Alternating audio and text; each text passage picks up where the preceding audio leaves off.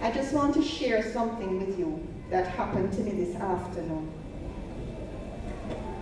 I just want to let you know that we have a big God and a faithful God. And He continues to minister to us here at, at Liberty in many ways. This term has been a difficult term for us in a number of ways. But we've been holding on to God, and He has been faithful to us, even in the little things. And today was an example.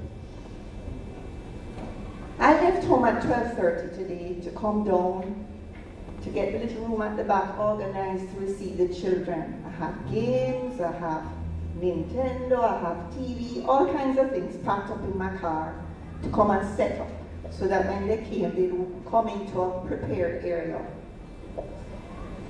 I needed a pair of dice for a Ludo game.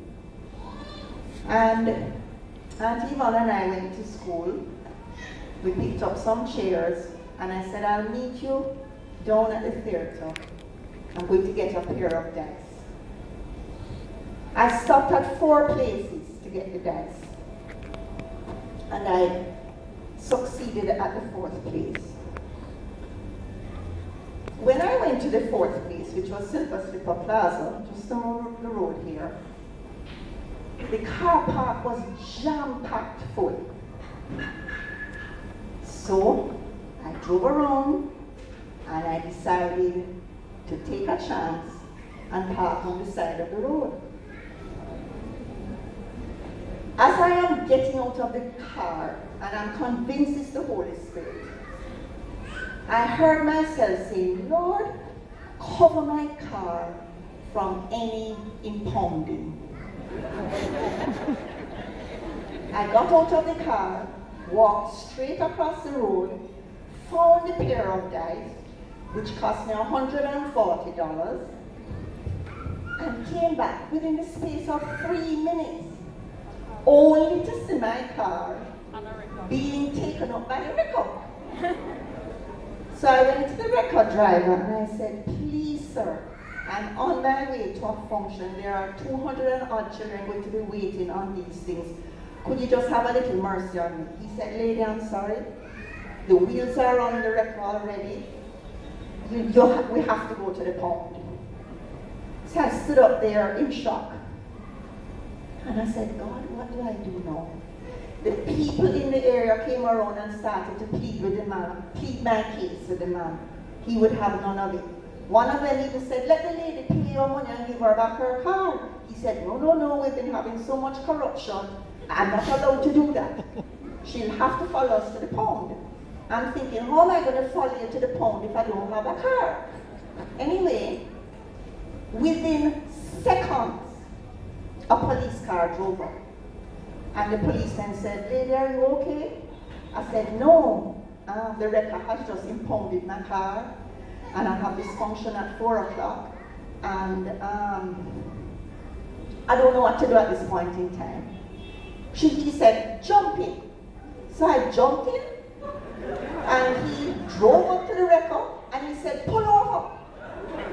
So he pulled over. And he said, listen, you can't help this lady out.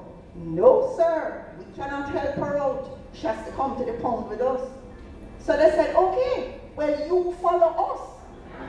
And I went down to the, the pound in a police car with the siren on. We got down there in about seven minutes. Right?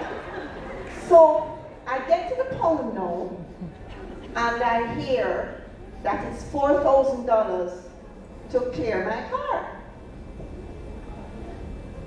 Now, you, when you go, by the way, for your information, when you go to the pound, there's one place where they write you up, and then you have to walk down two blocks to pay the bill, and walk the two block, blocks back up to receive the car.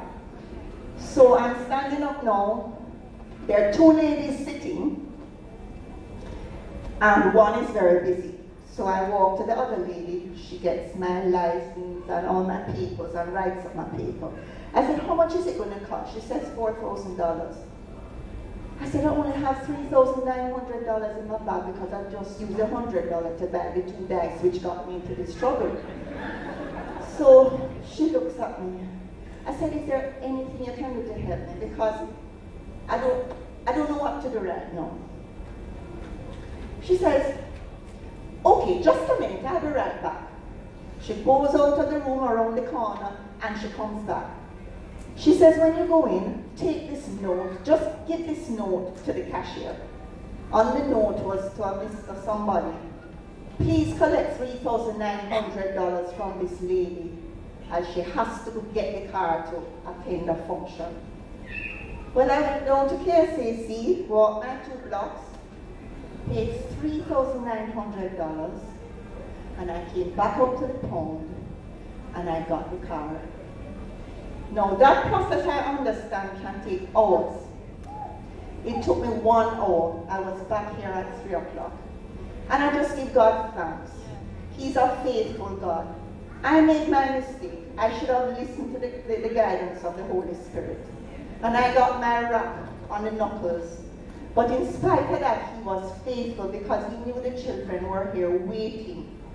And I just give God thanks. And I just want, I say that here to encourage you, ladies and gentlemen, to always remember we serve a big God. And no matter how hard times look, with God, all things are possible. And we can, he is able to do exceeding abundantly above all that we can think or imagine. So I do hope that you will enjoy as our little ones pour out their hearts to this evening and that you will be ministered to. Have a wonderful evening. Thank you.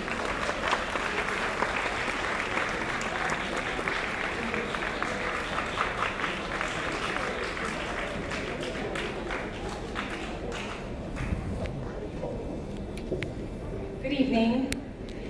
Isn't God a wonderful God? Isn't he a wonderful God? Let's give a shout. Jesus!